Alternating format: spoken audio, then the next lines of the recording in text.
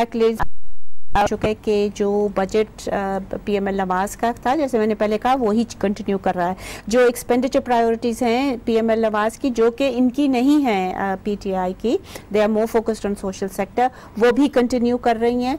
At the same time और उन, उनको स्टॉप नहीं किया गया है वो रिलीजेज हो रही हैं एज एज पर शेड्यूल और जो रेवेन्यू साइड भी है वो भी based on what the budget as announced by Miftah Ismail वो भी चल रहा है तो उसमें रेवेन्यू लॉस जो था वो एफ़ ने डिटर्मन किया था कि 91 बिलियन रुपीस का होगा।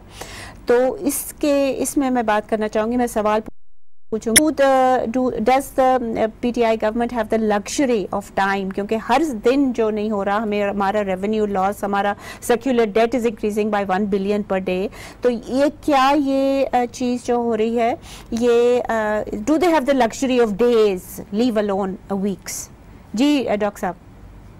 नहीं आई थिंक इसमें तो you have to look at it from this point of view कि ये ओवरनाइट चीज़ें नहीं होगी। ये तो definitely it takes a longer time दूसरी साइड पे ये है कि एक्सपेंडिचर कट्स आसानी से किए जा सकते हैं और जल्दी किए जा सकते हैं। रेवेन्यू साइड जो है उसको ज़्यादा टाइम लगता है तो आपको टैक्स नेट जैसे मैंने बात की कि आपको टैक्स नेट पे फोकस करना चाहिए एंड वो टैक्स नेट कुछ इस साल बढ़ेगा और कुछ अगले सालों में बढ़ेगा।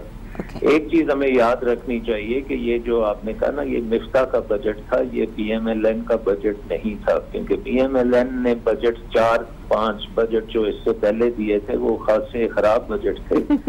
ये पहला बजट था जिसमें उन्होंने कुछ टैक्स पॉलिसी के ऊपर चेंजेस किए हैं बहुत जो कि मेरी नज़र में कोई अच्छी चेंजेस नहीं है उसमें और उनको रिवर्स करना नहीं चाहिए।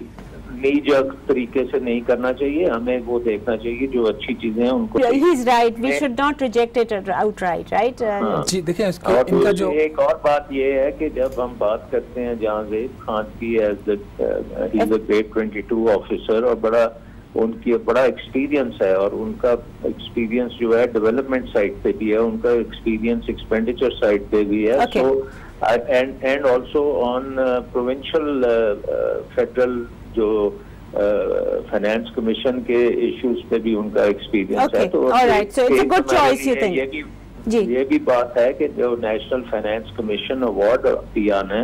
उससे भी अगर फेडरल गवर्नमेंट का शेयर थोड़ा सा बेनिवेज so I think just to focus on के जी ये डीएमजी का ऑफिसर बाहर लग गया that is neither here not there as long as he can deliver the goods I think that and we should give him the benefit of the doubt right now जो जो भी है जी आप बताइए और मेरा जी डॉक्टर साहब। यही होगा कि we should do it intelligently and not be a bull in a china shop absolutely okay जी वज़ीर खजाना असद उमर साहब ने अपने इकतदार में आने से पहले ये कह दिया था कि जब उन्होंने अभी ओथ नहीं लिया था कि 30 सितंबर उनके जहन में डेडलाइन है। तो जो आप बात कर रही हैं कि वो फैसले दिनों में वो हम्म। उन्होंने जो भी लॉस हो उन्होंने कहा कि ठीक है वो 30 सितंबर तक उसको उन्होंने कैलकुलेट कर लिया। Carefully we will not exactly जिस तरह की वो कह रहे हैं तो वो जो भी उनका लॉस अगर सेकुलर डेट के ऊपर भी हो रहा है ताकि ये जो डेली जो आपका फोर टू फाइव बिलियन अगर ये रिवर्सल जो है जो डॉक्टर साहब is against it and I agree with him but reversal of that income tax reduction in income tax वो तो ओवरनाइट हो सकता है। जी बिल्कुल वो जो है वो बिल्कुल ओवरनाइट हो सकता है रेगुलेटरी ड्यूटीज़ करना भी बड़े ओवरनाइट हो जाता है। खवातीन हजरात I thank all three panellist but खवातीन हजरात जैसे कि आपने सुना कि it's a very challenging I think situation for for the PTI government और हमारी इकॉनमी ऐसी स्टेट में है कि वो बहुत ही ज़्यादा उनको डिसीज़न लेनी पड़ेंगी। अगर उन्होंने ठीक करना है तो आ, उनको ठीक करने के लिए भी वक्त लगेगा। वो केयरफुली ट्रेड कर रहे हैं। जैसे कि हमें शबाज राना साहब ने कहा कि असद उमर कह चुके हैं कि तीस सितंबर से पहले तक हम ये सारी चीज़ें पुट इन प्लेस कर लेंगे। अगर कर भी लें थर्टी सितंबर तक हालाँकि तीन महीने गुजर जाएँगे। If they are right policies in terms of revenue and expenditure तो वो जो अगले जो रह जाएँगे नौ महीने उसमें काफ़ी हद तक ये गेन कर सकेंगे।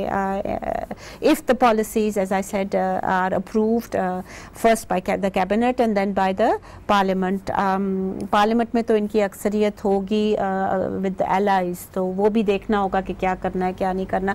बट इस बेसिस पे uh, मेरा ख्याल में टाइम ले लेना कोई बुरी बात है कि हमारी जो डेली लॉसेस हो रही हैं because of the existing system वो काफ़ी मेजर uh, हैं। और हमारे जो एक्सपेंडिचर है वो uh, जो जो डिक्लेयर्ड एक्सपेंडिचर है, वो प्रीवियस गवर्नमेंट का है, वो इनका नहीं है। And that would give them a shorter time period for next for the current physical year इजाज़त दीजिए इसी के साथ। खुदा हाफिज़।